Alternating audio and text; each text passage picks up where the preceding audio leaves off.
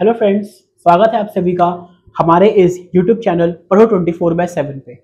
तो आज हमारी इजी इकोनॉमिक सीरीज़ का लेक्चर नंबर 23 है और आज मैं बहुत दिनों बाद आप लोगों से मुलाकात हो रही है। बीच में कुछ एग्ज़ाम्स की वजह से मैं बिज़ी हो गया था। तो कोशिश करेंगे कि अब इस सीरीज़ को वापस से हम कंटिन्यू कर सके। तो सॉरी फॉर इनकन्वीनियंस तो आज हम एक न्यू टॉपिक के साथ स्टार्ट करने जा रहे हैं, जिस टॉपिक का नाम है मनी इससे एग्ज़ाम में एक क्वेश्चन आ ही जाता है। कभी कभार वनडे एग्ज़ाम्स में सारे के सारे। और काफ़ी इंपॉर्टेंट टॉपिक भी आपका ये बनता है। चलिए स्टार्ट करते हैं कि मनी में हम लोगों को क्या क्या पढ़ना है और क्या क्या नहीं पढ़ना है। सबसे पहले मनी को पढ़ने से पहले हम लोगों को यहाँ पे एक टर्म डिस्कस करनी पड़ेगी, जिसको हम लोग बोलते हैं बाटर सिस्टम ऑफ़ एक्सचेंज तो बाटर सिस्टम ऑफ़ एक्सचेंज क्या कहलाता है? बाटर सिस्टम ऑफ़ एक्सचेंज कहलाता है कि जब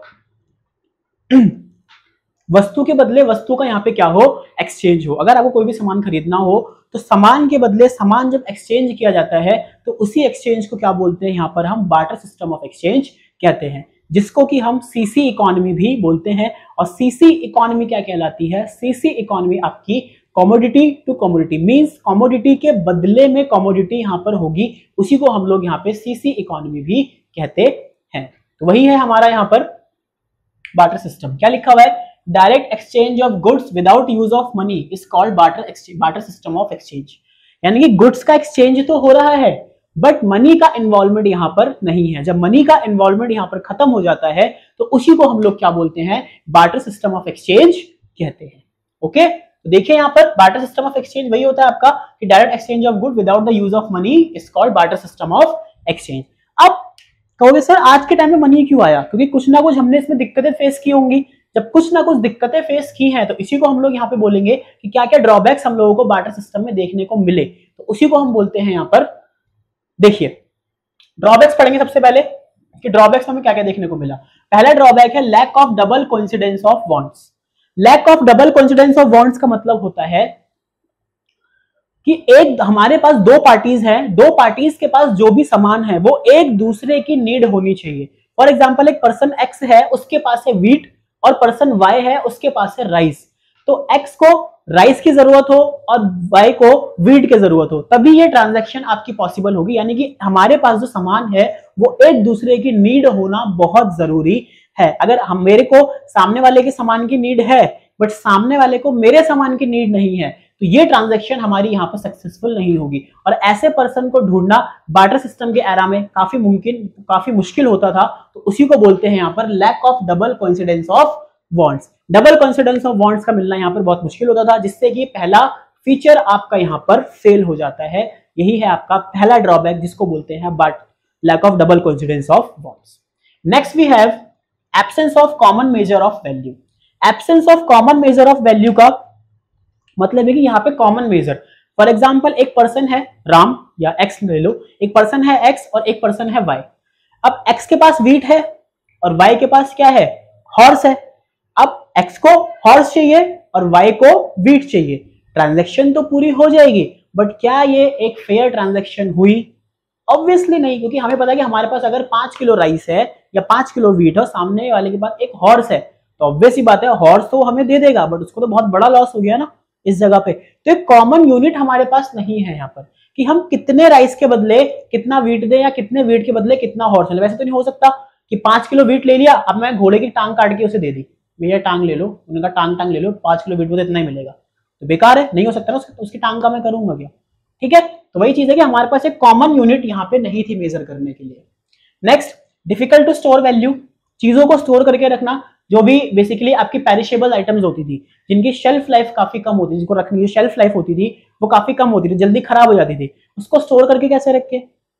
ठीक है, जैसे वेजिटेबल्स हो गए, आपके फ्रूट्स हो गए पेरिशेबल आइटम्स हो गए, उनको स्टोर करके लंबे टाइम तक हम नहीं रख सकते थे। और उस टाइम पे तो हमारे पास फ्रिज भी नहीं होती थी। तो इसीलिए थर्ड ड्रॉबैक था आपका डिफ़िकल्ट टू स्टोर वैल्यू उसको स्टोर करके रखना काफ़ी लॉस हो जाता था। पाँच सौ किलो टमाटर स्टोर करके रखे, पता चला एक महीने बाद पता चला सिर्फ़ और सिर्फ़ पचास किलो बचे। साढ़े चार सौ किलो तो सड़ गए, खराब हो गए।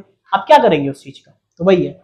Next lack of standard for deferred payment deferred payment क्या होता है? डेफर्ड पेमेंट का मतलब होता है फ्यूचर पेमेंट फ्यूचर में आपको कोई पेमेंट करनी है तो यहाँ पे आप पेमेंट करनी काफ़ी मुश्किल होती थी। क्योंकि देखो, अगर मान लो मैंने किसी से पाँच किलो चावल उधार लिए तो बदले मुझे उसको सात आठ किलो चावल देना पड़ेगा, तीन के जी चावल एज अ इंटरेस्ट यहाँ पे पे करना पड़ेगा। बट हो सकता है कि मैंने जब उससे चावल उधार में लिए हो तो वो चावल की क्वालिटी बहुत अच्छी हो। बट जब मैं उसे पे कर रहा हूँ तो चावल की क्वालिटी बहुत खराब पे कर रहा हूँ। सामने वाले को तो लॉस हो गया ना, उसको चाहे मैं आठ किलो दूँ, चाहे मैं दस किलो दूँ, उसको तो उसका प्रिंसिपल अमाउंट भी यहाँ पे नहीं मिल पाएगा। तो ऐसे टाइम पे बार्टर सिस्टम के एरा में डेफर्ड पेमेंट करना फ्यूचर पेमेंट करना बहुत ही ज़्यादा मुश्किल होता था। तो यही आपके ड्रॉबैक्स है सारे, और ये जो ड्रॉबैक्स है ना बच्चा, यही ड्रॉबैक्स आपके मनी के फीचर बन के निकलेंगे। आइए देखते हैं आगे। अब बात करेंगे मनी की तो मनी क्या है? Anything which is generally acceptable by the people in exchange for goods and services कोई भी चीज़ जो गुड्स एंड सर्विसेज़ को एक्सचेंज करने के लिए एक्सेप्टेबल हो जाए बाई दी पीपल पीपल उसे आसानी से एक्सेप्ट कर ले मीडियम ऑफ़ एक्सचेंज में काम आ जाए स्टोर ऑफ़ वैल्यू में काम आ जाए स्टैंडर्ड फॉर डेफर्ड पेमेंट में काम आ जाए, उसी को हम क्या बोलते हैं? मनी कहते हैं। देखिए कैसे? यहाँ देखिए। मीडियम ऑफ़ एक्सचेंज मनी को यूज़ कर सकते हैं मीडियम ऑफ़ एक्सचेंज में। किसी से भी आप इसे एक्सचेंज कर सकते मनी होगा तो कोई भी चीज़ आसानी से यहाँ पे परचेज कर सकते हैं। मेजर ऑफ़ वैल्यू इजिली आप उसको क्या कर सकते हो? मेजर कर सकते हो, किसी भी किसी भी चीज़ को मनी में मेजर कर सकते हो। मेरे पास ये मार्कर है, मेरा ये स्पेक्स है, ठीक है? मेरा ये माइक है, किसी को भी मैं मनी में इजिली मेजर यहाँ पर कर सकता हूँ okay next store of value इसको इजिली स्टोर करके भी आप रख सकते हो। कहीं भी स्टोर करके रख लो गद्दे में, तकिए में बैंक अकाउंट में, दीवारों में चुनवा दो, है ना? जोक सपाट next standard for deferred payment deferred payment यानी कि फ्यूचर पेमेंट भी आप इजिली यहाँ पर अच्छे से कर सकते हो। जैसे मान लो अगर आप किसी से लोन ले रहे हो। बैंक से आपने लोन लिया, एक लाख रुपए का। एक लाख रुपए का लोन लिया सिंपल इंटरेस्ट पे दस परसेंट के ब्याज रेट से। तो एक साल बाद कितना पे करोगे? एक लाख, दस हज़ार। एक लाख, दस हज़ार रुपये आप आराम से पे कर दोगे। तो वही है कि आप आसानी से principal plus rent amount interest amount आप यहाँ पर पे कर सकते हैं। तो यही है बच्चा आपका क्या? फ़ंक्शंस ऑफ़ मनी ओके अब बात करते हैं types of money types of money बच्चा क्या क्या आता है? सबसे पहले आता है आपका फियाट मनी फियाट मनी वो मनी होता है जो गवर्नमेंट के आदेश पे चलता है। गवर्नमेंट ने आदेश दिया तो फियाट मनी चलेगा।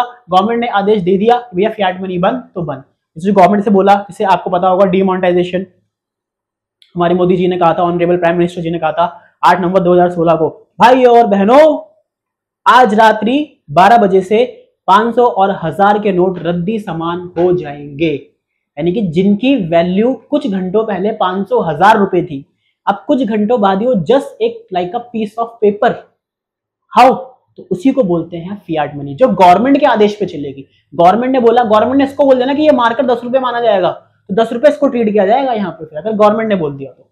ठीक है? तो वही होती है फियाट मनी नेक्स्ट बच्चा फिडिशरी मनी फिडिशरी मनी क्या होगी? जो आपके ट्रस्ट पे चलती है। जैसे कि चेक्स हो गए बिल्स ऑफ़ एक्सचेंज हो गए, जो गवर्नमेंट इशू नहीं करता। ये आपके खुद के ट्रस्ट पे चलता है कि हाँ भैया ठीक है मुझसे किसी बच्चे ने पैसे मांगे, मैंने उसको दस हज़ार का चेक दे दिया। अब भले मेरे अकाउंट में दस रुपए भी नहीं है बट मैंने उसे दस हज़ार का चेक दे दिया, उसने मेरे पर ट्रस्ट करा ना कि भैया ने मुझे दस हज़ार रुपए का एक चेक दे दिया। तो वही है आपका फिडिशरी मनी है। Next full bodied money full bodied money होती है बच्चा, जिसका आपका मनी वैल्यू और कॉमोडिटी वैल्यू क्या हो? इक्वल होता हो। अब मनी वैल्यू और कॉमोडिटी वैल्यू क्या होती है? मनी वैल्यू होती है कि कोई कोई करेंसी है, उस पर जो वैल्यू इंस्क्राइब्ड होती है। जैसे कॉइन हो गया, पाँच रुपए, दस रुपए। पचास का नोट हो गया, सौ का नोट हो गया, पचास रुपए दिख रहा है ना तो ये उसकी मनी वैल्यू है। कॉमोडिटी वैल्यू क्या होती है? उसको बनाने में कितना खर्चा आ रहा है? उसको बनाने में कितना खर्चा आ रहा है? तो बनाने में जो खर्चा आता है, वो